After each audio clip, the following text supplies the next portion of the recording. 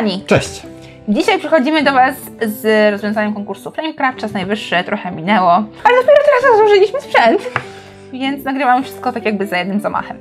E, bardzo dziękujemy Wam za to, że wzięliście udział w tym konkursie, że licznie komentowaliście ten materiał i że Flamecraft tak bardzo Wam się spodobał. Wybór był trudny, wszystkie komentarze były cudowne, było Ale bardzo dużo słuchaj, życzeń. Ale t- i, I tyle pochwał w naszą stronę, że Tak. tutaj mamy jakość super, że tutaj świetne gameplaye, że ludzie czują się jakby grali razem z nami. Także mamy komentarz zwycięski i jest to komentarz pana Piotra Pałaszewskiego. Tak jest. Piotr Pałaszewski napisał nam o gameplayach, które oglądał u nas i że Rolo to moja woda, to moja woda. To już jego woda. Goddammit.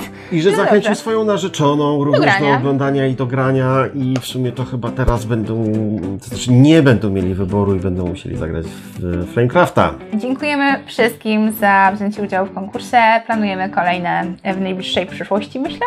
Tak. Jest coś jakoś, a może już coś jest uruchomione, musicie przeskrolować, co się dzieje, w co jest momencie, aktywne. w momencie jak to nagrywamy, to działają słowołaki, ale czy jak to opublikujemy, to będzie aktywne? Więc e, gratulacje dla Piotra, zachęcamy Was do wzięcia udziału w kolejnych konkursach i pięknie Wam dziękujemy za to, że jesteście. To Wy jesteście naszym motorem i naszą motywacją, także namaste.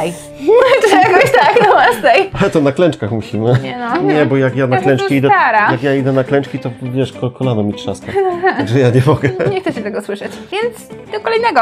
Trzymajcie się, a Ty Piotr, chodź na priv. Myślę, że musimy dogadać wysyłkę. Cześć! Cześć, cześć.